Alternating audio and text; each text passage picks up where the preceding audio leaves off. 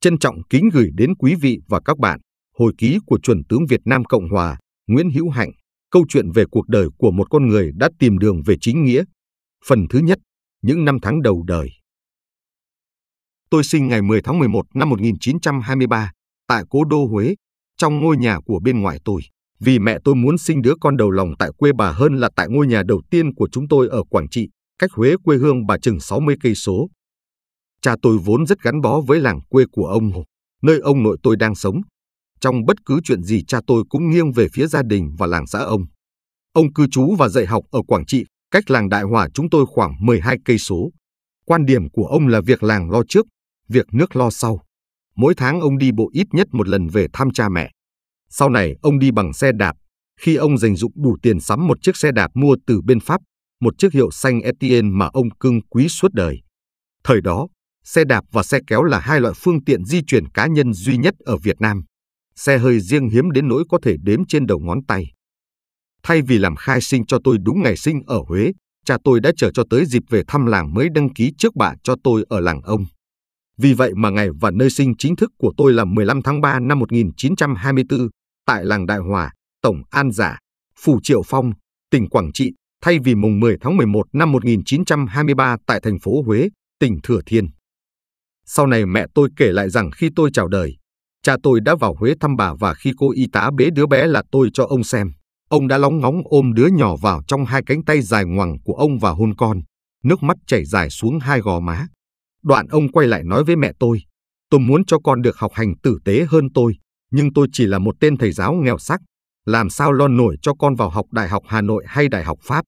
Ông đã từng được nhận vào trường Đại học Hà Nội, nhưng không được học, vì ông nội tôi không chịu chu cấp cho ông học thêm nữa. Thế nhưng ông nội tôi, vốn là một vị quan trong triều về hưu, lại rất giàu. Chỉ có điều ông tập trung mọi sự hào phóng vào ba người con trai con đời vợ trước, còn cha tôi là con của bà vợ kế. Và về sau, ông nội tôi cũng để lại toàn bộ gia sản cho ba người con vợ lớn của ông thôi. Tuổi thơ tôi dính mắc với đủ thứ bệnh, quai bị, sởi, hen suyễn, vàng da. Cha tôi hết sức thương tôi vì tôi là đứa con đầu lòng và là con trai trưởng. Truyền thống gia đình Việt Nam đặc biệt coi trọng con trai trưởng, bởi người trưởng nam sẽ là người gánh vác công chuyện gia đình và lo toan việc thờ cúng tổ tiên. Anh ta được giáo huấn đầy đủ các tiêu chuẩn về đạo đức và cách xử thế ở đời. Để tới phiên anh, anh sẽ dạy lại cho mấy đứa em. Cha mẹ anh sẽ không cần phải lo nữa, họ trông cậy anh đảm trách việc đó. Cha tôi đã dạy dỗ tôi rất nghiêm khắc trên nền đạo đức và triết lý của Khổng giáo và Phật giáo.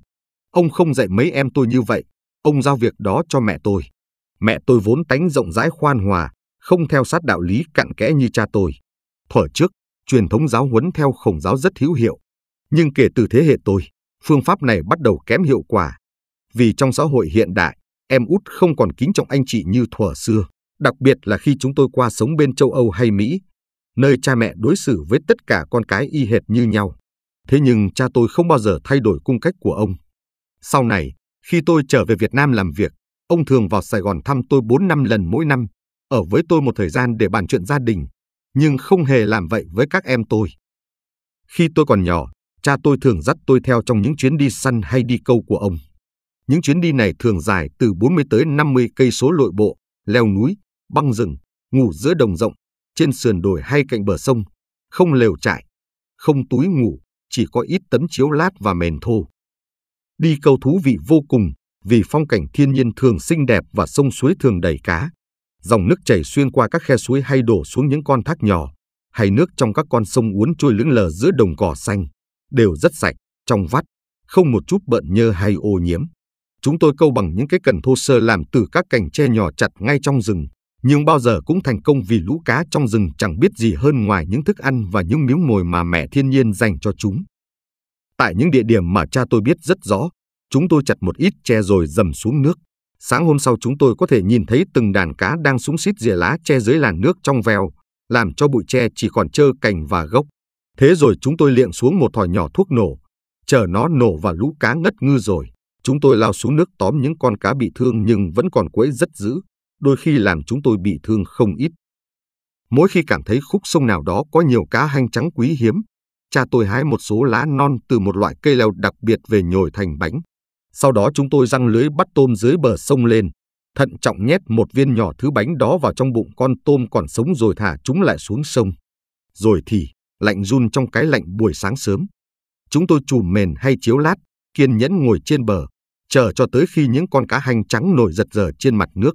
Sau khi ăn phải những con tôm kia khoảng nửa giờ, lũ cá hành bị say thuốc, bắt đầu trồi lên mặt nước, phơi bụng bơi lòng vòng, và chúng tôi bơi ra tóm lấy chúng trước khi chất thuốc hết hiệu lực. Chúng tôi kho cá nấu cơm ăn ngay tại chỗ cắm trại, đó là những bữa ăn ngon nhất trong đời tôi.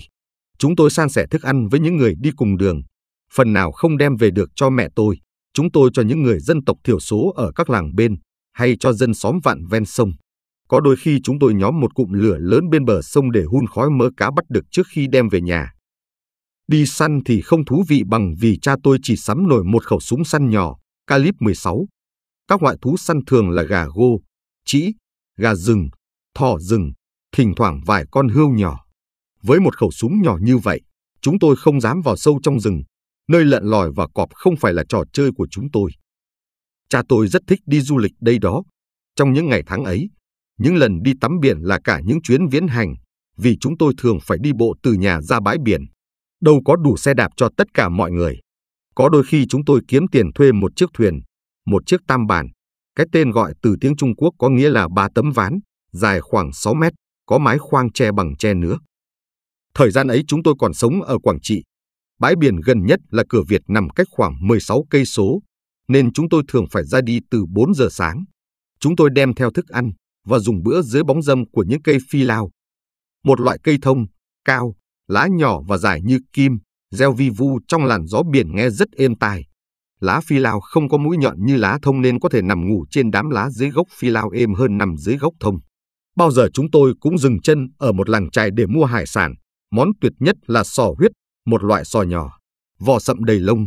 Khi nướng trên lửa than sẽ mở miệng và cho ra một chất nước màu đỏ như huyết, ăn rất ngon. Cửa biển thứ hai, xa hơn, là cửa Tùng, nằm ở vĩ tuyến 17. Sau này chia đôi Việt Nam thành hai miền Nam, Cửa Tùng cách nhà chúng tôi khoảng 60 cây số nên chúng tôi thường thuê thuyền tam bản để đi. Bốn năm người chúng tôi chiếm khoang chính rộng khoảng 3 mét và dài 5 mét. Khoang kia nhỏ hơn dành cho gia đình chủ thuyền, với bốn người, cặp vợ chồng và hai con nhỏ. Khoang thuyền chỉ đủ chỗ để ngồi hoặc nằm chứ không đứng được, vì nó chỉ cao khoảng mét hai tính từ sàn lên mái khoang. Thế nhưng tất cả mọi người ăn, ngủ, giặt rũ và mọi thứ linh tinh ở trên đó. Chúng tôi xuống sông tắm rửa mỗi khi dừng thuyền lại để nghỉ ngơi hay ngắm cảnh. Thuyền lướt đi theo nhịp đẩy mái chèo mà người chủ thuyền hoặc vợ anh ta chèo với những động tác hết sức uyển chuyển, theo tiếng hò khoan nhặt của họ. Trong tất cả những bãi biển đẹp trên thế giới mà tôi từng đặt chân tới trong nhiều năm du lịch khắp nơi, thì không nơi nào có thể sánh được cửa Tùng và Đại Lãnh ở miền Nam Việt Nam. Với vẻ đẹp thiên nhiên hoang sơ của nó, tôi chỉ sợ việc phát triển đất nước có thể làm mất đi vẻ đẹp của hai chốn này, vì người ta thường có khuynh hướng hủy hoại tất cả mọi thứ bởi chính lòng ham muốn phát triển thêm và làm đẹp thêm những cảnh quan vốn xinh đẹp ấy. Cũng tại cửa Tùng tôi được thưởng thức ba món ăn mà tôi không hề gặp ở nơi nào khác. Ốc gạo, một loại ốc nhỏ rất sạch, màu vàng, sống trong cát ở cửa sông, có vỏ tròn, lớn cỡ một hột đầu phụng bự. Luộc ốc bằng nước sôi xong. Chúng tôi dùng gai cây chanh lề ốc ra nhấm nháp. Sau khi đã khơi miếng vẩy che miệng ốc đi, thịt chúng mềm, đậm đà, hết sức thú vị. Cá mó, một loại cá thân lép có đủ thứ màu sáng, ngó rất buồn cười, nhưng thịt ngon tuyệt vời. Và hải sâm tươi mà chúng tôi đi lượm buổi sáng sớm giữa các khe đá khi chiều xuống. Loài này mỗi khi nhặt lên lại tiết ra một chất nước đặc ngộ nghĩnh màu đỏ. Nhưng khi nấu với nấm rơm thì ăn ngon hơn bất cứ loại hải sâm khô nào, dù đắt tiền, ở các tiệm ăn. Bao giờ tôi cũng lò dò theo cha tôi trong những chuyến đi câu ấy. Lúc thì vùng vẫy bơi lặn trong nước sông, lúc thì lang thang chân trần trên bãi biển, đến nỗi trượt chân té ngã giữa các tảng đá. Một hôm ở cửa Tùng chúng tôi chứng kiến một sự cố vừa buồn cười vừa tội nghiệp. Cùng đứng câu với chúng tôi ở một vùng nước cạn trên bãi là hai người đàn ông và một người đàn bà. Đàn ông thường chỉ đóng khố, và mấy cái khố thường rách tả tơi. Ngoài ra họ không còn mặc thêm gì nữa. Họ không hề ngượng khi phơi bày thân thể sau mấy cái khố rách nát. Người dân nghèo hay tận dụng tất cả mọi thứ, kể cả rẻ rách. Thỉnh thoảng họ lại lặn xuống nước để bắt cua hay tôm hùm bằng tay không. Sáng hôm đó, một người đàn ông lặn xuống nước, và thì lình tôi trông thấy anh ta vọt lên khỏi mặt nước la hét. Một con cua dính cứng ở dương vật. Anh ta lê từng bước đi chậm chạp, bộ dạng đau đớn và kỳ cục rất buồn cười, với con vật độc ác đung đưa giữa hai chân. Chúng tôi cười đến nỗi chảy cả nước mắt và thắt cả bụng. Cha tôi vội lao tới giúp anh ta, nhưng ông cũng đang cười rú đến nỗi ông không gỡ con cua ra được. Cuối cùng ông lượm một cục đá đưa cho người đàn ông, anh ta cố lết tới ngồi dạng chân trên một tảng đá. Nhưng anh ta đau quá không cử động nổi nên anh ta nhờ cha tôi đập dùm. Và cha tôi đã đập con cua, nhưng suýt chút nữa ông cũng bị nó kẹt. Con cua quở quạng rất xuống, nhưng cái càng của nó vẫn cứ kẹp ở chỗ cũ và cha tôi phải đặt người đàn ông nằm xuống trên mặt đá để đập dập nó ra. Sự cố này dường như kéo dài vô tận, và người đàn ông kia chắc phải đau khủng khiếp vì gương mặt anh ta tái xanh tái tím. Gia đình tôi rất nghèo nên đối với tôi, đồ chơi là thứ xa xỉ dành cho đám bà con giàu có của tôi ở kế bên nhà.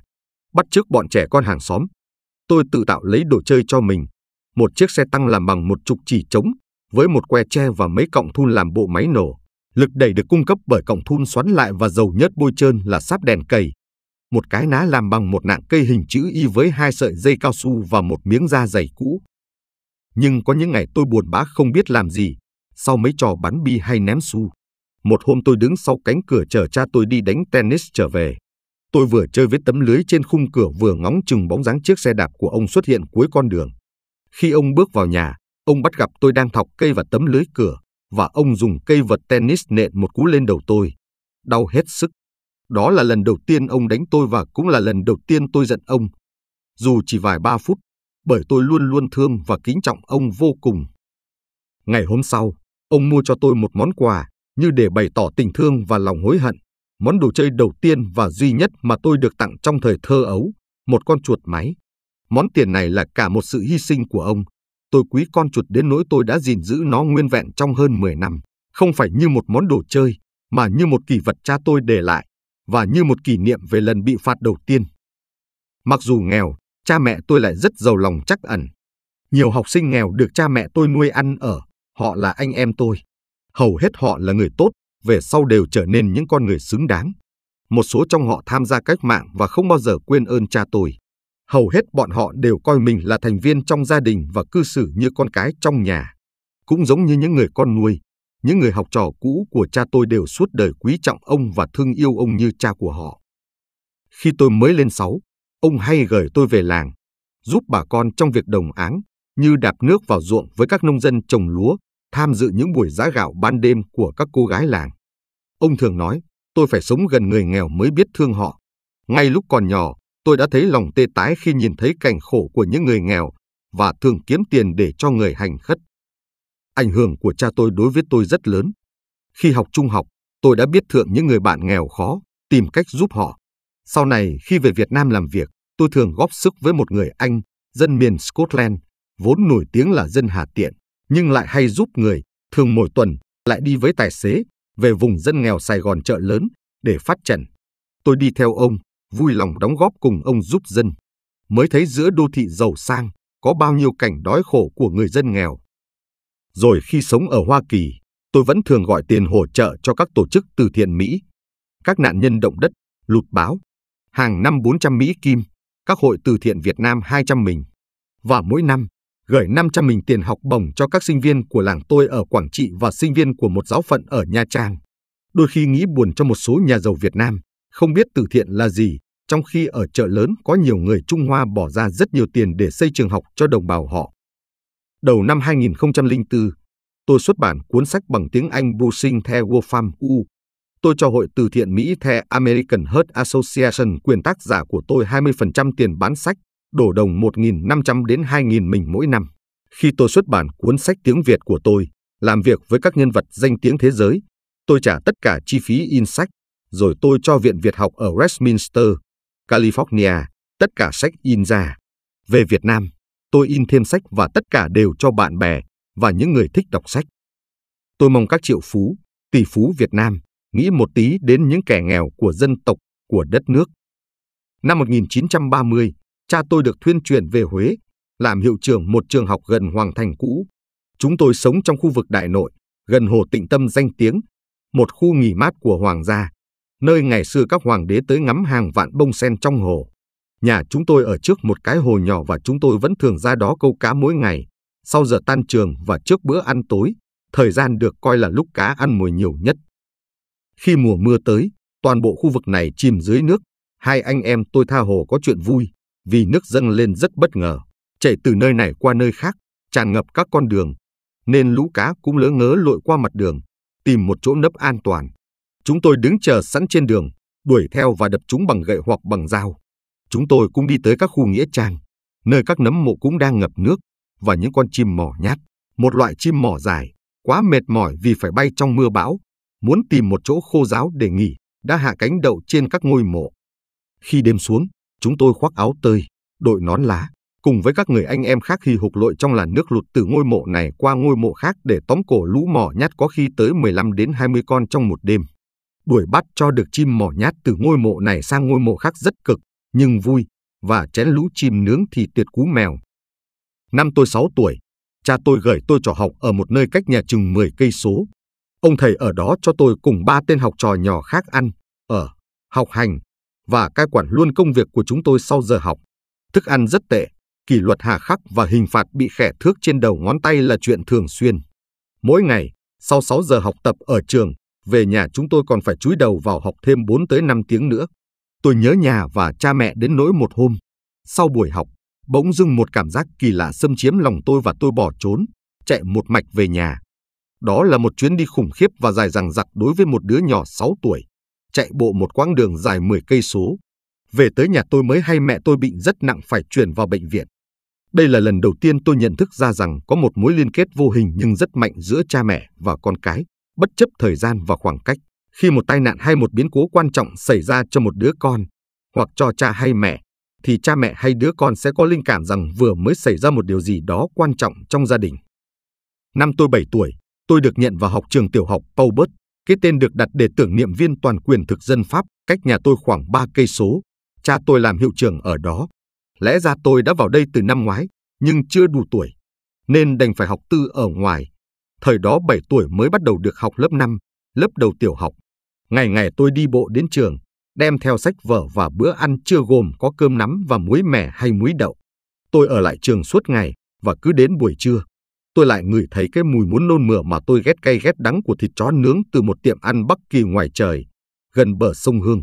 Vì vậy mà ngày nào tôi cũng phải tìm cách ăn giữa 2 giờ học để tránh cái mùi thịt chó cứ theo ám bữa cơm trưa của tôi. Và đó cũng là lý do vì sao lớn lên tôi rất ghét món thịt cầy, vốn là món ăn khoái khẩu của một số dân miền Bắc. Thật khôi hài khi một mùi hôi như vậy lại cận kề con sông Hương, con sông của hương thơm. Nhắc tới chó, tôi phải nói rằng tôi luôn luôn ghét chó.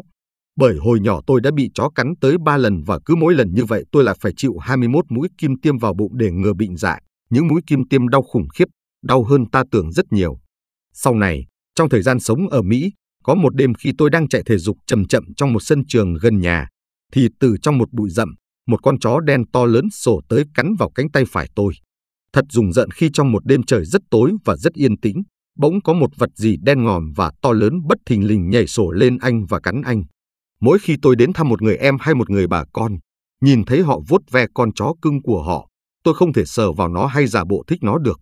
Bất cứ khi nào nó liếm tay tôi, tôi đều dùng mình và cảm thấy một luồng sóng run rẩy chạy dọc xương sống.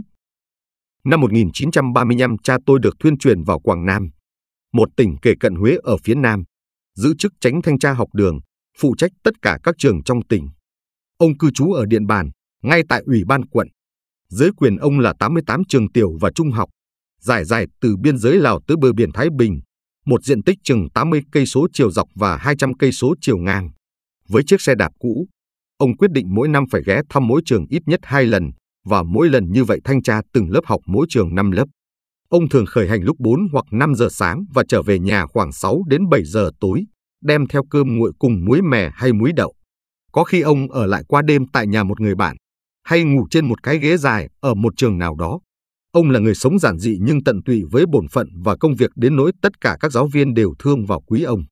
Ông đi xe đạp trong một thời gian dài và nhiều đến nỗi sau này trong bài điếu văn đọc tại đám tang ông, một người bạn của ông, cũng là một giáo viên, nói rằng có lẽ cha tôi đã đi tới bốn vòng bao quanh trái đất trên chiếc xe đạp cũ kỹ duy nhất của ông. Ông làm việc có lương tâm và chăm chỉ đến nỗi năm nào ông cũng được cấp trên khen ngợi, tán dương và khen thưởng. Tên ông luôn luôn đứng ở hàng đầu trong danh sách đề bạt hàng năm. Anh em tôi học ở Vĩnh Điện, cách nhà 6 cây số, đi bộ. Thời gian đó chúng tôi chưa có giày dép gì cả. Gia đình tôi vẫn còn rất nghèo và cha mẹ tôi chưa đủ sức mua giày cho bất cứ ai trong nhà trừ cha tôi. Chúng tôi quốc bộ trên con đường quốc lộ 1, lúc bấy giờ đã được trắng nhựa. Khi trời nắng nóng, nhựa hắc ín mềm ra và nóng bỏng, và bàn chân chúng tôi đau nhức sau 6 cây số quốc bộ về nhà. Mỗi năm có hơn 6 tháng mưa, khi trời mưa giữa trưa thì nước bốc hơi và không khí đầy hơi nóng hết sức ngột ngạt. Chúng tôi vẫn khoác những cái áo tơi và nón lá chúng tôi từng mang khi đi bắt chim mỏ nhát ở Huế. Chúng tôi đi học từ sáng sớm và ở lại trường suốt ngày. Khoảng giữa 11 giờ rưỡi và 2 giờ trưa, chúng tôi chơi hoặc học bài trong sân chơi của nhà trường. Bữa ăn trưa của chúng tôi là cơm vắt với muối mè hay muối đậu. Chính trong khoảng thời gian này tôi gặp vị Tổng thống tương lai của Việt Nam, ông Ngô Đình Diệm, lần đầu tiên. Anh trai của ông, Ngô Đình Khôi, là Tổng đốc tỉnh Quảng Nam, mà Vĩnh Điện là tỉnh lỵ. Người con duy nhất của Khôi, Ngô Đình Khải, rất gần gũi với cha mình. Cũng như ông Diệm, cả hai đều là người thiên chúa giáo cuồng nhiệt và triệt để chống cộng. Ngô Đình Diệm là một thành viên của Viện Cơ mật dưới triều vua Bảo Đại vào những năm 30.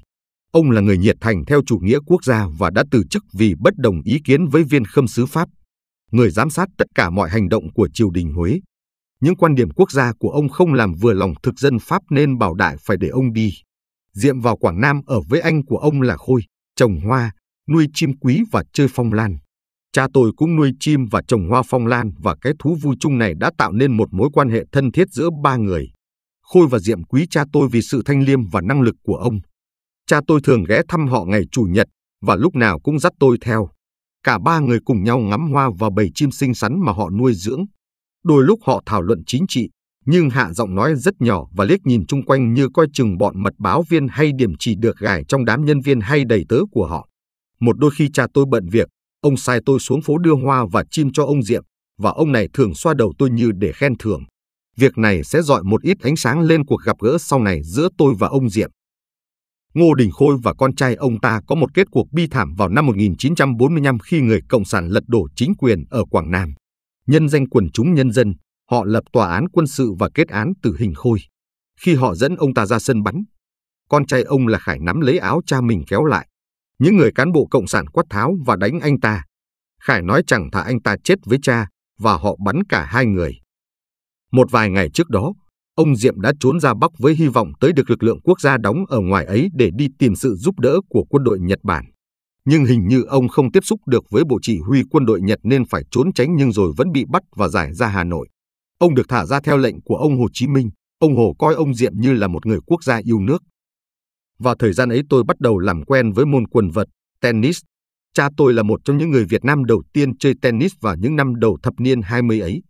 Đầu tiên ông gia nhập một câu lạc bộ ở Quảng Trị do chính người Việt Nam thành lập, vì cái club sportif câu lạc bộ thể thao chỉ dành riêng cho người Pháp, tương tự như việc phân biệt chủng tộc giữa người da đen và da trắng ở Mỹ trước những năm 60. Vĩnh Điện vốn ở xa các thành phố lớn, không hề có câu lạc bộ lẫn sân quần vợt. Cha tôi đã tự mình xây một cái sân đất nện với sự góp sức của những người anh em của tôi. Nhưng đất ở đây không phải loại đất đỏ, mềm và mịn, ở các sân đất châu Âu hay Mỹ. Khi khô nó cứng như xi măng, còn khi ướt nó mềm và trơn trượt. Lưới là một tấm rào đan bằng tre. Chúng tôi chơi bằng những cái vợt cắt từ các tấm ván, không hề có lưới đan mặt vợt, còn bóng là những quả bóng xài rồi được vứt bỏ tại các sân quần vợt ở Phai Phâu Hội An, một thành phố cách nhà tôi chừng 10 cây số, mà lũ trẻ lượm bóng ở câu lạc bộ đem bán lại. Nhưng chúng tôi rất hãnh diện về cái sân của mình.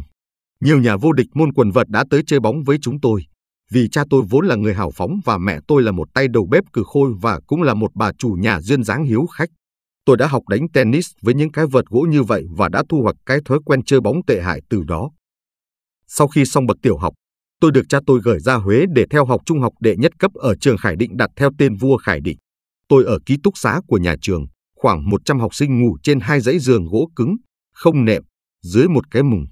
Thức ăn giờ kinh khủng còn kỷ luật thì nghiêm khắc. Tới giờ ăn, chúng tôi được dọn ăn cứ bốn tên một bàn với ba hoặc bốn dĩa đồ ăn. Bọn tôi còn trẻ và đứa nào cũng háu ăn. Khi một dĩa thức ăn vừa được bày ra trên bàn, ba tên kia lập tức gắp lấy món ăn bỏ vô chén của mình. Trên bàn hầu như không còn gì cả. Tôi là đứa ăn chậm, tới giờ này cũng vậy, nên tôi vừa vào xong miếng cơm đầu tiên thì trên bàn đã hết sạch. Hầu hết thời gian tôi đều rời bàn với cái bụng trống, và tôi phải tìm cách trốn ra ngoài sau giờ học mọi cánh cửa đều bị khóa, để mua bánh mì ở một bà bán hàng vốn rất am hiểu tình cảnh của những tên học trò ăn chậm như tôi. Đó là một mục chi tiêu lớn trong ngân sách còm cõi hàng tháng của tôi, và tôi đành phải hy sinh những mục khác. Bởi vì trường Khải Định là một trường hỗn hợp trai gái học chung, nên có một nữ sinh cứ mỗi buổi sáng trên đường tới lớp lại đi băng ngang sân chơi của chúng tôi. Cô rất dễ thương và rất xinh đẹp và tôi cảm thấy yêu cô. Lần đầu tiên trong đời. Nhưng vì rụt rè, không bảo gan như đám con trai sành sỏi, tôi không bao giờ dám nói chuyện với cô. Về sau tôi nghe cô đã vào tu viện và trở thành một nữ tu. Năm 1941 tôi tốt nghiệp với thứ hạng cao.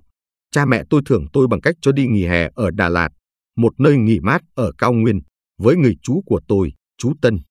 Đà Lạt là một nơi nghỉ mát rất đẹp do thực dân Pháp xây dựng dành riêng cho người Pháp. Người Việt Nam không được sống ở đây nếu không được phép. Những người Việt Nam từ tỉnh khác muốn lên đây phải có giấy thông hành, passport hay thẻ căn cước. Vào thời gian ấy, chỉ có một con đường lộ để lên Đà Lạt, một con đường hẹp chạy vòng vèo qua các cánh rừng và một đường sắt có răng cưa cho xe lửa. Tôi về Quảng Trị, quê tôi, để xin cấp thẻ căn cước và chính nơi đây lần đầu tiên tôi nếm mùi cay đắng với nền hành tránh độc tài của thực dân. Vừa đặt chân đến Quảng Trị, tôi đi ngay tới tòa thị chính để nộp đơn xin cấp thẻ căn cước. Tôi đang đi bộ một mình ở một bên đường, thì thình lình từ phía bên kia, tôi nhìn thấy một viên thiếu úy Pháp chạy ào về phía tôi, và, cực kỳ đáng sửng sốt, hắn sáng cho tôi một bà tai vào mặt. Mày không biết tao hả? Hắn hỏi. Tao là xếp gan Indigin toàn thị xã này mà mày lại dám không chào tao.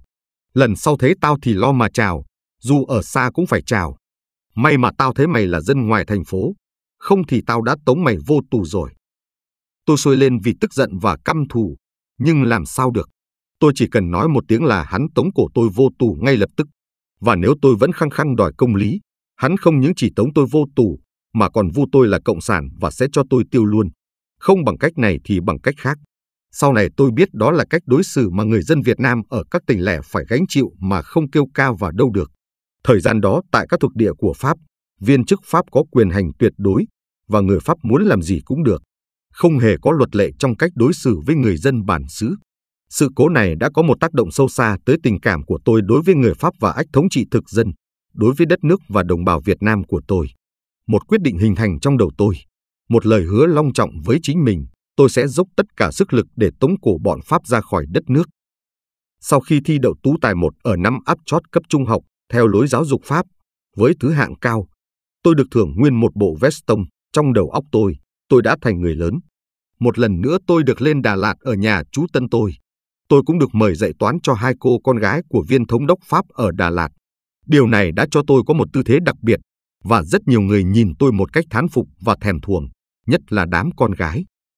Chính tại Đà Lạt tôi đã gặp mối tình đầu tiên trong đời. Một tình yêu thật sự, đó là một cô gái dịu dàng xinh đẹp người Huế, cô con gái lớn của một nhà thầu rất giàu. Tôi cũng được mời dạy toán cho cô và cô em gái của cô.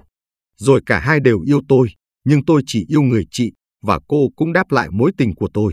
Cô em gái vốn ít bị cha mẹ để ý xét nét nên được tự do hơn, cố hết sức làm tôi chú ý tới mình. Nhưng lòng tôi chỉ hướng về người chị, Cô dịu dàng hơn và cũng xinh đẹp hơn. Thế nhưng mối tình của chúng tôi không bao lâu phải chấm dứt lúc cha cô biết gia đình tôi rất nghèo và cấm cô không được gặp tôi nữa. Khi mùa hè đã hết và những giờ học toán đã xong. Phần tôi, vì lòng tự ái, tôi cũng nhất định quên cô. Khi tôi nghe câu chuyện đó, mặc dầu tôi luôn luôn yêu cô. Sau này tôi được biết mẹ cô hết sức tiếc nuối khi bà biết tôi đã tốt nghiệp trường đại học thương mại danh tiếng nhất Paris, thủ đô nước Pháp, và tôi đã giữ những chức vụ cao trong chính quyền và trong những tổ chức quốc tế. Năm 1944, tôi tốt nghiệp trung học khi thi đậu bằng tú tài 2, thường được gọi là 32, với hạng bình mention biên. Điều này làm cho cha mẹ tôi rất đối vui lòng và tự hào vì hai người tuy rất nghèo nhưng đã dáng chịu thiếu thốn nhiều bề để cho tôi và em Minh tôi được học lên trung học. Có một chuyện vui là vào năm thi tú tại Y. Sau phần thi viết, tôi đang xem bảng thì có một cô giáo người Anh ra tìm tôi tự giới thiệu là cô Winkinson ở Hà Nội vào chấm thi. Cô cho tôi hay bài của tôi được điểm cao nhất và cô muốn gặp người học sinh đạt được điểm cao nhất ấy. Sau đó, khi thi vấn đáp, cô lại khen tôi. Cô rất xinh đẹp nên tôi không khỏi đôi khi bâng khuâng nhớ nghĩ về cô. Dưới thời thuộc DIA, người da trắng hay khinh miệt người da vàng, mà có một câu chuyện như vậy cũng là một điều rất lạ. Mẹ tôi đặc biệt sung sướng vì giữa gia đình bên nội và bên ngoại của tôi có một sự thi đua, có thể nói là ganh đua, rất giữ tuy vẫn thân tình, về chuyện học hành của con cái. Dĩ nhiên là mẹ đứng về phía chúng tôi vì là con ruột của bà. Tôi vốn học giỏi khi còn học trung học và cả sau này khi lên đại học, lúc nào tôi cũng xuất sắc hơn đám anh chị em bà con và cả mấy ông cậu của tôi. Cứ sau mỗi kỳ thi, một vài ông cậu của tôi lớn tiếng tuyên bố sẽ đậu cao. Nhưng khi kết quả được công bố thì họ rớt đài. Còn tôi thì không nói gì nhưng cuối cùng lại đậu cao. Điều này làm cho bọn thanh niên em út cười nói đã đời và cha mẹ tôi thì cứ mỉm cười thú vị. Chuyện tôi học giỏi và thi đâu đậu đó giúp cha mẹ tôi thêm can đảm, hy sinh thêm nhiều tiền của để cho tôi vào học ở trường Đại học Hà Nội và sau này ở Pháp, và cho tất cả các em trai và em gái tôi vào học ở các trường đại học châu Âu và Mỹ. Thời bấy giờ chúng tôi đang sống dưới sự chiếm đóng của quân đội Nhật. Năm 1941 sau một cuộc chiến ngắn ngủi, quân Pháp thua trận một cách thảm hại ở biên giới phía Bắc và buông súng đầu hàng. Chính quyền thực dân Pháp phải chấp nhận cho quân đội Nhật Bản chiếm đóng toàn bộ bán đảo Đông Dương. Người Nhật vẫn để viên toàn quyền Pháp cai quản việc hành chính trong nước. Nhưng trong tất cả mọi lĩnh vực khác thì họ nắm lấy quyền chuyên chính của một đội quân chiếm đóng. Máy bay đồng minh gồm các nước Mỹ, Anh, Trung Hoa dội bom mỗi ngày, nhất là tuyến đường sắt vốn là tuyến vận chuyển chính của quân đội Nhật. Xe lửa chỉ chạy ban đêm, ban ngày nghỉ. Hành khách thì ban ngày ngủ trên các toa xe hay trong các nhà ga xe lửa, để đêm lại lên tàu tiếp tục cuộc hành trình. Đôi khi đang giữa đêm chúng tôi nghe tiếng bom nổ và con tàu dừng lại giữa đường và hành khách phóng xuống các đám ruộng chung quanh hay chạy nấp trong các bụi cây để tránh miệng bom đạn. Vì tất cả các cây cầu đều bị sập HOAC bị phá hủy hoàn toàn nên người ta qua sông trên những chiếc phà cũ kỹ chạy bằng motor cũ hoặc kéo bằng tay để rồi lại leo lên một chiếc xe lửa khác ở bên kia sông. Chúng tôi phải mất 3 ngày để đi từ Huế đến Hà Nội, cách nhau chừng 500 dặm. Hà Nội là một thành phố rất đẹp, hoàn toàn khác Huế và các thị trấn quanh Huế. Thành phố cổ kính này, với những ngôi chùa và đền miếu xinh đẹp, đã gây một ấn tượng sâu sắc trong lòng một thanh niên nghèo đến từ một thị trấn xa xôi hẻo lánh. Tôi mua một chiếc xe đạp cũ và đạp lòng vòng khắp Hà Nội trong khi chờ năm học tới. Vì Đại học Hà Nội chỉ có 3 phân khoa là luật, y và khoa học, nên tôi ghi danh học luật và y khoa. Tôi học rất chăm và luôn luôn ở trong top sinh viên đứng đầu của trường y. Lần đầu tiên trong đời, tôi để dành nhiều thời giờ suy nghĩ về chính trị và tình yêu nước. Tôi dự các buổi meeting của phong trào sinh viên và tham gia vào những vụ quấy rối bọn sinh viên người Pháp và bọn mật vụ Pháp được gài vô để theo dõi sinh viên Việt Nam. Những trận đánh nhau giữa sinh viên Việt Nam và sinh viên Pháp xảy ra hầu như mỗi ngày sau giờ tan học và thường có tôi trong những vụ đánh nhau trên đường phố. Người bảo trợ cho tôi đi học là cậu của mẹ tôi. Ông là tổng đốc của một tỉnh kế cận. Rõ ràng ông không thích thái độ chính trị của tôi. Cứ mỗi tháng, cùng với hai người cậu, tôi lại đạp xe vượt 40 cây số đường trường để về Hưng Yên thăm ông cậu và nghe ông của trách. Hai cậu tôi thì không giống tôi, họ được coi là những sinh viên gương mẫu vì họ không tham dự vào các hoạt động chính trị. Bởi vì một phần học phí của tôi là do ông cậu chu cấp nên điều này là cả một vấn đề lớn cho tôi và cho mẹ tôi. Thế rồi tất cả đều chấm dứt ngày 9 tháng 3 năm 1945, khi giữa đêm tối quân đội Nhật thình lình đảo chính và chiếm trọn bán đảo Đông Dương và bỏ tù tất cả các quan chức và nhân viên người Pháp, tước vũ khí quân đội Pháp. Tất cả mọi trường trung và đại học đều đóng cửa và sinh viên được khuyến cáo trở về nhà chờ chỉ thị của chính quyền quốc gia Việt Nam vừa mới được thành lập với sự giúp đỡ của quân đội Nhật dư luận dâm gian về chuyện kỳ ngoại hầu cường để sắp về nước sau nhiều năm lưu vong ở Nhật Bản. Bởi vì ông là một người quốc gia đã chấp nhận từ chức chứ không chịu hợp tác với chính quyền Pháp, nên mọi người đều phấn khởi và tràn trề hy vọng, mong ông về sớm để thành lập chính phủ. Than ôi, điều ấy không bao giờ có. Không rõ chuyện gì đã xảy ra với ông. Tôi về nhà. Trong những tháng tiếp theo, đất nước trải qua một trận đói khủng khiếp. Người chết đói la liệt khắp mọi nơi. Từng đoàn, từng đoàn người đói lũ lượt kéo đi khắp làng, khắp phố kiếm ăn và xin cứu giúp. Bởi vì gia đình tôi có truyền thống mở rộng cửa đón khách nên người ta kéo tới xin ăn. Có đôi khi giữa bữa ăn, họ đến tận bàn ăn, nhìn vào thức ăn nghèo nàn của chúng tôi với cặp mắt thèm thuồng và cái miệng chảy nước miếng. Chúng tôi cũng không đủ ăn, nhưng phải chia bớt cho họ. Tôi biết là trong trận đói này có hơn một triệu người chết đói. Vậy mà đất nước tôi lại là một trong những nước sản xuất lúa gạo nhiều nhất thế giới mỗi năm xuất khẩu hơn một triệu tấn. Tôi nghe nói là người Nhật vì cũng thiếu gạo nên đã chở tất cả số gạo đang có về Nhật, làm cho Việt Nam lâm vào tình trạng thiếu gạo hết sức trầm trọng. Cả nhà chúng tôi ai cũng thiếu ăn, nhưng cha mẹ tôi thiếu ăn hơn tất cả, trước hết vì phải ưu tiên dành cho con cái, và sau đó còn phải giúp đỡ người khác. Hơn bao giờ hết, căn nhà chúng tôi đông nghẹt những đứa trẻ được nhận nuôi, bạn bè và bà con đủ kiểu. Chúng tôi chỉ ăn một ngày hai bữa, mỗi người được hai chén chứa đủ các thứ rau nhặt nhạnh sau vườn. Phía trên phủ vài hột cơm. Đôi khi hết gạo, chúng tôi phải thay bằng mấy lát sắn khô. Thỉnh thoảng chúng tôi cũng được cung cấp ít chất đạm nhờ mấy con cá mà em trí của tôi và tôi câu được ở con sông gần đó, hoặc một hai cái trứng mỗi tuần từ bảy gà vịt nuôi trong nhà. Đây quả là quãng thời gian của biết bao nhiêu đau khổ và hy sinh. Sau này, khi tôi là tổng giám đốc của hai ngân hàng, tôi thường đi lại Paris, New York, Washington nhiều lần và được các ngân hàng bạn chiêu đãi thịnh soạn. Khi tôi ăn trứng cá, gan ngỗng và uống đủ thứ rượu khai vị, sâm banh và hai hay ba ly rượu vang trong một bữa ăn, tôi không thể nào không nhớ lại những ngày tôi chỉ được một cái chén đựng đủ thứ rau khốn khổ sau vườn nhà. Khi tôi còn nhỏ, chúng tôi sống ở Quảng Trị trong một ngôi nhà gạch do cha tôi xây, nằm trên con lộ chính của thị xã. Nhưng từ đó trở đi, vì cha tôi là một thầy giáo giỏi và năng nổ nên cứ được thăng chức đều đặn hai năm một lần, và chúng tôi phải di chuyển nhiều lần từ tỉnh này sang tỉnh khác. Ngoại trừ ở Quảng Nam, nơi cha tôi thuê được một ngôi nhà ngói, còn thì ở bất cứ nơi đâu ông chuyển tới, cha tôi cũng phải dựng một căn nhà mái tranh, nền đất nện và vách hên che chét bùn. Thông thường chỉ có một phòng riêng có tấm ngăn dành cho cha mẹ tôi, còn cả bọn chúng tôi ngủ trên mấy chiếc giường gỗ hay bộ ngựa không đệm. Ngôi nhà lúc nào cũng đông cứng người vì cha tôi thường hay đưa về nhà những sinh viên nghèo hay những người bà con nghèo làm con nuôi.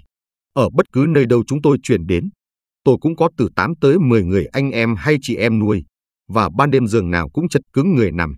Cha tôi lúc nào cũng đầy lòng thương người, tuy lúc nào ông cũng nghèo. Tôi còn nhớ mãi nỗi sợ cháy nhà vào mùa hè, khi đợt gió Lào khô khốc, rất nóng và rất mạnh từ đất Lào thổi qua Việt Nam, tương tự gió Santa Ana ở vùng California với vận tốc lên tới 50-60 km một giờ, làm ngọn lửa bốc cháy, lan hết dãy nhà tranh này tới dãy nhà tranh khác, đôi khi đốt trụi cả ngôi làng. Cha tôi leo lên nóc nhà, tưới nước lên mái tranh để ngăn lửa. Vì chúng tôi chẳng bao giờ có nước máy nên cả bọn chúng tôi chạy ùa tới giếng nước, dùng gầu kéo nước lên và truyền tay tới cha tôi. Ngọn lửa bốc cao lên trời làm bầu trời đỏ rực và nóng hổi. Quang cảnh thật là đáng sợ và nếu ngọn lửa liếm tới nhà chúng tôi, chắc nó sẽ bị thiêu rụi trong vòng vài phút. May sao là chúng tôi chưa hề bị cháy nhà lần nào, mặc dù tất cả các ngôi nhà đều xây như nhau với mái tranh và phiên tre.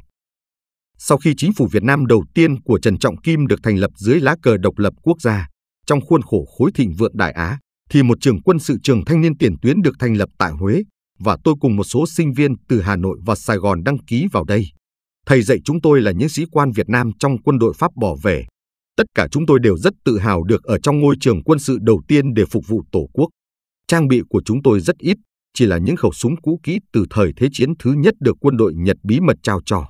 Và rất ít đạn dược. Chúng tôi hầu như không có tập bắn, nhằm dành đạn cho những trường hợp khẩn cấp. Thời gian đó Reguler đã trở về nắm quyền ở Pháp sau khi Đức bại trận và nước Pháp đang tìm cách tái chiếm Đông Dương vốn được coi là hòn ngọc của đế quốc Pháp nền độc lập quốc gia dưới sự bảo trợ của Nhật Bản làm nhân dân phấn khởi rất nhiều. Nhưng sau khi Nhật thua trận, chúng tôi luôn lo lắng là Pháp sẽ xâm lược. Việc lính Anh vào miền Nam để giải giới quân Nhật càng làm tăng thêm nỗi lo này vì chúng tôi ngờ rằng nước Anh sẽ giúp Pháp tái chiếm Đông Dương. Những lời đồn đãi về việc lính nhảy dù Pháp đang được thả xuống những vùng xa lan tỏa khắp nơi và người dân bắt đầu chuẩn bị cho một thời kỳ bị vây hãm lâu dài và gian khổ. Nhưng tất cả đều cương quyết giữ cho được nền độc lập mới mẻ và chống trả quân xâm lược Pháp. Tại trường quân sự của chúng tôi, các sĩ quan cố hết sức kiếm thêm súng và đạn dược, nhưng dưới áp lực của chính phủ Pháp, quân đội Nhật từ chối không cho chúng tôi thêm súng nữa, ngoại trừ một vài khẩu súng dì rét có từ thời trước chiến tranh mà dân quân Việt Nam trước đây sử dụng. Một ngày kia, chúng tôi được tin quân nhảy dù Pháp đã đổ bộ xuống cửa Thuận, một cửa biển cách Huế chừng 12 cây số. Chúng tôi thuê hai chiếc xe tư nhân để di chuyển, rồi tiến về cửa Thuận dưới quyền vị chỉ huy trưởng của chúng tôi là Phan Tử Lăng và viên chỉ huy phó là Hà Văn Lâu. Người sau này gia nhập lực lượng du kích cộng sản và trở thành đại sứ của Bắc Việt tại Liên Hiệp Quốc. Chúng tôi đến cửa thuận và trong đêm tối bao vây căn nhà mà đám lính Pháp trú đóng. Đám lính này không hề chờ đợi cuộc thăm viếng của các chiến sĩ Việt Nam và chúng tôi đã tóm hết cả đám một cách dễ dàng, không cần bắn một phát đạn.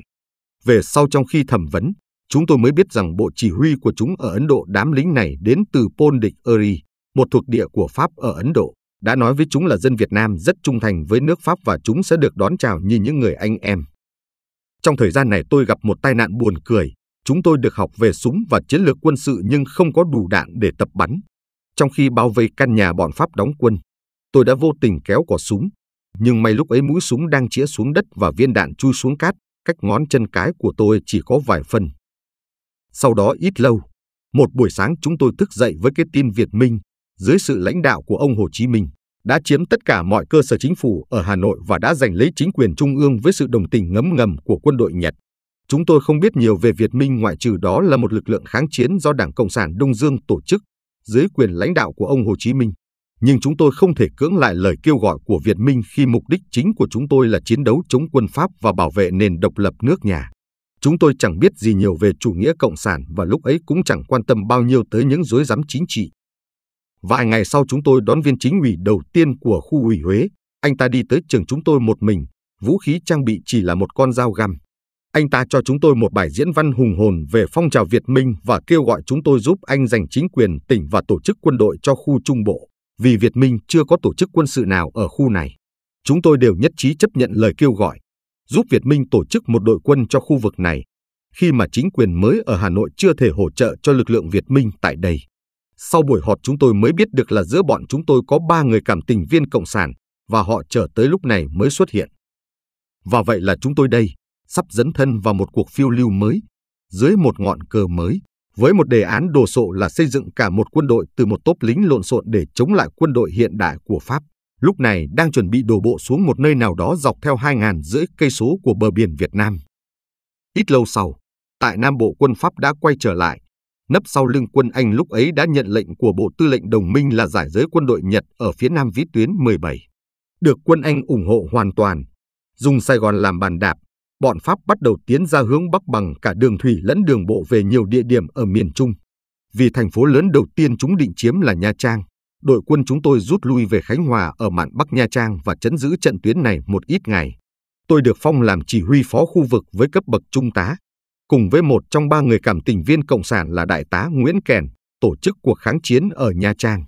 Chúng tôi là một đội quân áo vải nghèo nàn với những người lính vừa nhập ngũ mới toanh, vũ khí trang bị là những con dao róc mía, gậy tầm vông, vài khẩu súng cổ lỗ sĩ từ thời Thế chiến thứ nhất và một hai khẩu tiểu liên loại nhỏ được mấy người lính Nhật có cảm tình với cuộc kháng chiến trao tặng. Thay vì giải giới hoàn toàn quân Nhật, lính Anh chỉ tịch thu những vũ khí hạng nặng còn vũ khí nhẹ thì để lại cho quân Nhật và yêu cầu họ đánh chúng tôi để bình định khu vực và lính Pháp tiến sau lưng quân Nhật. Đại tá Kèn và tôi chỉ huy quân lính kháng cự lại quân Nhật. Chúng tôi cảm thấy buồn bã vì phải đánh Nhật thay vì đánh Pháp. Những khẩu đại bác hùng mạnh từ chiến hạm Richelieu của Pháp dội xuống đầu chúng tôi suốt ngày đêm và chúng tôi chẳng có gì để tự vệ ngoài một số súng nhỏ. Chúng tôi mất dần trận địa và bị thương vong khá nhiều. Chúng tôi rút lui về hướng Bắc, rồi khi đụng tuyến đường sắt cách thành phố khoảng 6 cây số, chúng tôi vào nấp trong một đường hầm xe lửa để nghỉ lấy sức vì chúng tôi đã chiến đấu liên tục suốt 3 ngày 3 đêm. Đêm hôm ấy, dò ra được chỗ chúng tôi, chiến hạm Pháp hướng những khẩu đại bác hùng mạnh của nó về cả hai đầu đường hầm.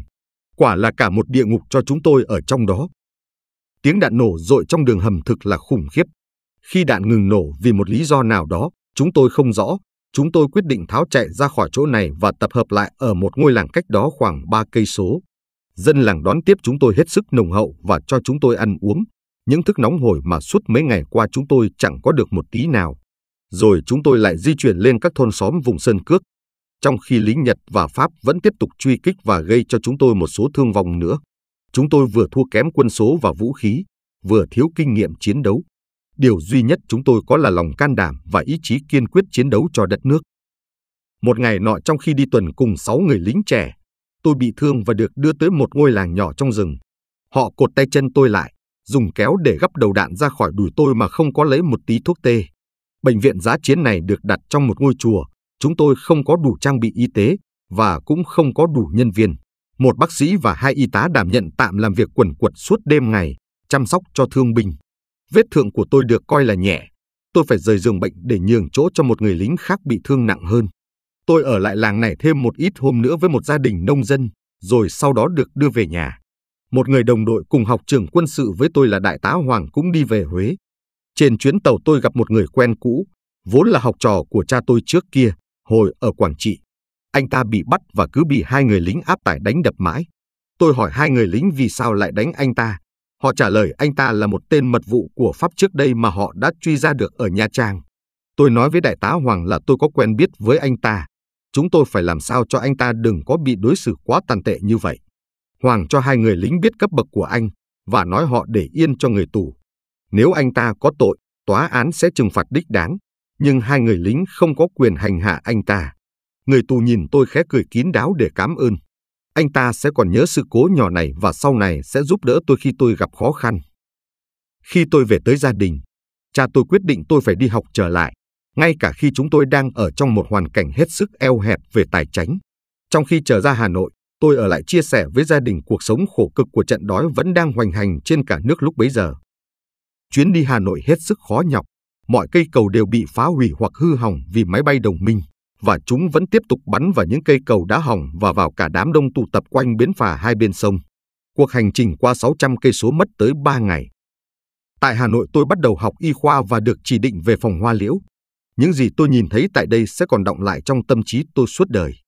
Tôi được nhiều điểm cao và hai vị giáo sư chính từ Huế ra đây dạy nói rằng nếu tôi cứ tiếp tục như vậy, sau này tôi sẽ trở thành một bác sĩ giỏi. Nhưng rồi tháng 12 năm 1946, sau thất bại của bản tạm ước giữa Hồ Chí Minh và chính phủ Pháp tại Paris, chiến tranh lại tái diễn và một lần nữa trường bị đóng cửa. Tôi lại về nhà và một lần nữa chính quyền cộng sản địa phương lại yêu cầu tôi gia nhập quân đội và giúp họ tổ chức kháng chiến chống quân Pháp lúc này đang tiến tới sau khi đổ bộ xuống cửa Thuận, cách Huế khoảng 16 cây số. Tôi tái ngũ và đóng quân tại ngôi trường cũ của mình, trường trung học Khải Định, với một số lính và sĩ quan mới. Tôi góp phần huấn luyện đám tân binh, tổ chức việc vận chuyển và tìm kiếm thêm vũ khí từ những kho súng đạn cũ của quân Pháp bỏ lại. Một ngày kia có hai người lính Nhật tới cổng trường xin gặp tôi. Tôi bước ra và trông thấy hai người lính mặc quân phục Nhật nhưng không mang vũ khí. Họ lịch sự cúi chào tôi và tôi đáp lễ. Họ biết rất ít tiếng Việt còn tôi thì chỉ biết một hai tiếng Nhật. Họ bèn viết cho tôi bằng chữ Hán. Nhưng mà kho tiếng Hán của tôi đã để yên quá lâu ngày nên tôi chỉ hiểu được một vài chữ. Nhưng dù sao chúng tôi cũng hiểu nhau được phần nào. Tên hai người này là Yamashita và Narita. Họ không muốn đầu hàng quân đồng minh nên quyết định gia nhập lực lượng chúng tôi, giúp chúng tôi chống lại quân Pháp, bảo vệ nền độc lập. Điều duy nhất họ mong muốn là cho họ được hướng về phía mặt trời vào lúc bình minh và lúc hoàng hôn để đảnh lễ hoàng đế của họ. Tôi chấp nhận và chúng tôi đã sắp xếp để chiều tối hôm sau tới đón họ tại đồn của họ. Từ đó trở đi hai người luôn theo tôi bất cứ nơi đâu giống như hai người cận vệ. Chúng tôi thân thiết với nhau tới mức sâu nhất có thể đạt được mà không cần trao đổi bằng ngôn ngữ. Họ viết tên và địa chỉ của họ trong một mẩu giấy cứng nhỏ màu đỏ. Phòng trường hợp chúng tôi cách biệt nhau. Chúng tôi hứa sẽ tìm nhau một khi chiến tranh chấm dứt. Nhà của Narita ở Nagasaki, anh ta là một diễn viên điện ảnh, và em gái anh vẫn còn đóng phim cho quân đội ở quê nhà. Còn Yamashita thì ở thị trấn Sendai, tỉnh Hokkaido, anh là y tá. Vào cuối tuần, tôi được nghỉ phép và đưa hai anh về nhà ngoại tôi ở Nguyệt Biểu trên bờ con sông Hương xinh đẹp. Họ nói chuyện với ông ngoại tôi bằng chữ Hán, thứ chữ mà cho tới năm 1930 là văn tự căn bản của người Trung Hoa, Nhật Bản, Hàn Quốc và Việt Nam. Chúng tôi cùng nhau câu cá trên sông Hương, và vì không câu được cá, chúng tôi liệng xuống sông một bó nhỏ thuốc nổ. Rồi chúng tôi bơi ra ngoài bắt những con cá ngất ngư vì vụ nổ. Rồi mẹ tôi đem kho và chúng tôi có một buổi ăn tối hết sức ngon lành. Ăn xong chúng tôi lại tụ tập trên bờ sông, dưới một bầu trời không vần mây và một vành trăng tròn tuyệt đẹp. Mấy ông cậu tôi và đám anh em bà con cũng đem đàn sáo ra tham gia với chúng tôi. Tất cả chúng tôi hát hò và cười dẫn rất vui. Narita và Yamagita cũng tham gia hát bằng tiếng Nhật. Narita hát rất hay. Cả bọn chúng tôi đều cảm thấy thích thú với các làn điệu và các bài ca này. Ông ngoại tôi lại cho chúng tôi một ít rượu nếp và điều này càng làm cho buổi tiệc thêm đậm đà. Khi mặt trăng lặn xuống sau rặng tre và mọi người chuẩn bị rút lui về ngủ thì Yamagita nói gì đó với Narita, rồi xin ông ngoại tôi nán lại thêm một vài phút nữa. Họ xin phép ông tôi vào trong phòng họ lấy một món đồ. Rồi họ trở ra với một mẫu giấy, một cây bút lông và một lưỡi dao cạo. Một lần nữa họ lại viết bằng chữ Hán để nói với ông ngoại tôi là họ rất gắn bó với tôi, với đất nước chúng tôi và họ muốn bày tỏ lòng trung thành tuyệt đối của họ với tôi theo phong cách truyền thống của người Nhật. Họ lần lượt dùng dao rạch ngón tay út, để máu nhỏ vào đầu ngọn bút đoạn viết lên tấm giấy. Ông ngoại tôi giải thích cho tôi hay là họ xem tôi như một người anh em và thề hoàn toàn tận tụy với tôi. Rồi họ giao cho tôi miếng giấy có chữ viết bằng máu và biểu tôi cất đi cho tới khi chúng tôi có thể gặp lại nhau ở Việt Nam hay Nhật Bản, khi chiến tranh chấm dứt. Yamashita và Narita ở bên tôi suốt thời gian, làm việc với tôi, đi tuần với tôi, ăn với tôi và luôn luôn nằm ngủ cạnh tôi. Nhưng rồi một ngày, viên chính ủy tới gặp tôi thông báo là anh mới nhận được lệnh từ chính phủ trung ương đưa hai người ra Hà Nội. Đó là một tin rất buồn đối với tôi và đối với họ. Khi họ chào từ biệt thì mắt họ và mắt tôi đẫm lệ và họ nói họ sẽ trở về ngay khi nào về được. Không bao lâu tôi được tin họ đang ở Hà Nội cùng với một toán lính Nhật đã đứng về phía kháng chiến. Toán lính này được phiên chế vào một đơn vị đặc biệt để cùng chiến đấu chống lại quân Pháp. Tôi đã giữ mảnh giấy màu đỏ với lời thể viết bằng máu của họ. Nhưng sau khi tôi bị quân Pháp bắt rồi thả ra, bọn lính tuần và bọn mật vụ Pháp thường xuyên tới nhà chúng tôi sục sạo tìm du kích quân và tài liệu tuyên truyền. Tôi sợ chúng có thể tìm được tài liệu nên tôi đã đốt cả mảnh giấy ghi lời thề bằng chữ nhật, chỉ giữ lại tấm cạc có địa chỉ của họ.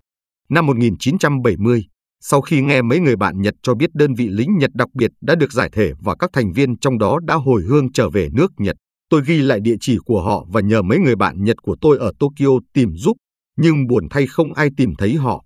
Tôi rất buồn khi nghe tin này, và trong lòng tôi luôn luôn mang hình ảnh của họ. Sau khi Yamarita và Narita đi rồi, tôi vẫn tiếp tục hoạt động cho tổ chức Việt Minh ở địa phương. Nhưng rõ ràng là lý lịch gia đình tôi không được đánh giá cao với các chính ủy được biên chế ở mỗi đơn vị. Những người chỉ huy thật sự. Tôi có thể nhìn thấy trong ánh mắt họ và cảm thấy trong thái độ của họ sự nghi ngại đối với đám bạn bè tôi và bản thân tôi. Chúng tôi biết rằng họ chỉ giữ chúng tôi chừng nào họ còn cần đến chúng tôi. Nhưng lòng mong muốn phục vụ đất nước mạnh hơn sự thiếu thiện cảm của những người cộng sản nên chúng tôi vẫn tiếp tục ở lại giúp họ. Trong thời gian này gia đình tôi đã đi tản cư để tránh bị kẹt trong chiến trận. Cha mẹ tôi cùng với các em tôi và người giúp việc đã bỏ nhà cửa để lên vùng rừng núi cùng một gia đình người bạn. Trên đường đi lánh nạn họ bị bọn lính Pháp chặn lại, chúng cướp con bò của chúng tôi và đánh đập em Đức của tôi. Việc này lại càng làm tôi thêm quyết tâm tống cổ bọn Pháp ra khỏi Việt Nam. Một ngày kia trong khi đi tuần với năm người lính mới, tôi bị bắt làm tù binh và bị thẩm vấn suốt ngày đêm không nghỉ, giữa các lần thẩm vấn là lao động khổ sai. May thay, một viên cảnh sát chìn làm việc cho Pháp và là một học trò cũ của cha tôi, cái người tôi đã giúp trên chuyến xe lửa từ chiến trường về, anh ta đã nhận ra tôi. Anh vội báo cho cha tôi hay, ông liền đi tới gặp vị thống đốc Trung Kỳ, Trần Văn Lý. Ông này can thiệp với viên chỉ huy quân sự Pháp đề nghị thả tôi ra và đặt tôi dưới sự quản chế của ông. Tôi được dẫn tới văn phòng thống đốc và được nghe một bài giảng về hiểm họa cộng sản. Cuối cùng ông ta nói vì tôi là một sinh viên rất giỏi ông sẽ cho tôi học bổng ở nước ngoài để tiếp tục việc học và trở về phục vụ chính phủ. Vậy là năm 1947 tôi vào Sài Gòn để đáp tàu qua Pháp. Nhưng tại Sài Gòn một tên mật vụ Pháp đã chờ sẵn tóm tôi về tra vấn thêm một đợt nữa. Chỉ sau khi tôi báo động cho ông thống đốc Trung Kỳ, y mới thả tôi ra và không làm phiền tôi nữa. Tôi đáp tàu Felix Russo, một chiếc tàu buôn cũ. Ở đó tôi gặp khoảng 12 sinh viên cũng đi Paris học. Nhưng tất cả bọn họ đều là con nhà giàu và không ai cần tới học bổng như tôi. Có hai người từ Huế, và tôi nhận ra họ là cháu của một vị giáo sư dòng dõi hoàng tộc đã dạy tôi ở trường Khải Định 5 năm trước, ông ưng quả. Họ rủ tôi theo họ, vì họ được một người anh họ cũng trong hoàng tộc, đang hành nghề luật sư ở Paris bảo trợ, và họ biết rằng tôi nhà nghèo, lên đường tới Paris không một xu dính túi. Chuyến đi quả là vất vả ngay cả đối với một thanh niên như tôi. Bọn tôi ngủ võng và an toàn đậu lăng. Qua địa Trung Hải, tàu bị những cơn bão lớn nhồi rất dữ suốt mấy ngày, làm tôi ngày nào cũng say sóng gần cả tuần lễ. Khi tàu cập bến Marseille, lại một tên cảnh sát chìm người Pháp lên tàu điệu tôi về bót thẩm vấn thêm một lần nữa. Hắn hỏi tôi tại sao tôi lại muốn qua Pháp trong khi tôi có thể ở lại phụng sự cho Việt Minh với một binh nghiệp sáng chói vì tôi mới có 22 tuổi mà đã mang cấp bậc trung tá. Khi tôi cho hắn biết tôi được thống đốc Trung Kỳ bảo trợ và tôi muốn qua Pháp học để về phục vụ chính nghĩa quốc gia, hắn mới thả cho tôi về. Chúng tôi tới Paris bằng xe lửa, ra đón chúng tôi tại sân ga là Hoàng thân Bù Lộc, anh em họ với hai người bạn đường của tôi là Bửu Hàm và Bửu Hào. Cùng với người anh họ ông là Bửu Hội, một nhà khoa học về nguyên tử nổi tiếng. Ông đã chúng tôi một bữa tiệc cơm ra trò. Tôi học trường La Can An ở thị trấn Bourg la Reine gần Paris để theo các khóa dự bị trước khi thi vào trường cao đẳng HEC. Ngôi trường thương mại ngân hàng danh tiếng nhất nước Pháp. Vì tiền học bổng của tôi chỉ đủ cho những bữa ăn sinh viên, nên mỗi cuối tuần tôi phải đi làm để kiếm thêm tiền trả học phí và nơi trọ. Cứ hai ngày mỗi tuần tôi quốc bộ qua các con đường của Paris, khoảng 25 tới 30 dặm mỗi ngày, để mua kim may ở các cửa tiệm bách hóa gửi về cho mẹ tôi, vì suốt thời gian trong và sau chiến tranh, Việt Nam không nhập được loại hàng đó. Ngay cả tại Pháp lúc ấy, những sản phẩm như kim may chẳng hạn cũng phải phân phối theo tiêu chuẩn. và mỗi cửa tiệm mỗi tháng chỉ nhận được một lượng nhỏ. Mẹ tôi bán số kim may này rồi mua gạo, gửi từng gói nhỏ 3 ký qua cho tôi để tôi bán lại cho cộng đồng người Việt ở đây vì gạo lúc ấy ở Pháp cũng phân phối theo tiêu chuẩn. Công việc này khá nặng nhọc nhưng nó cho phép tôi vận động thay cho các môn thể thao vì thiếu thời gian. Đồng thời nó là một công việc kiếm được khá tiền. Sau đó một năm tôi thi đậu vào ngôi trường HEC, lấy lừng danh tiếng, ngôi trường hàng đầu trong lĩnh vực thương mại và tài chính của Pháp. Thông thường sinh viên phải mất từ 2 tới 3 năm học các lớp dự bị trước mới hy vọng thi đậu vào HEC, nhưng tôi thì chỉ sau một năm là thi đậu vào trường. Trong số hơn 1.000 thí sinh, chưa tới 200 người được thi đậu.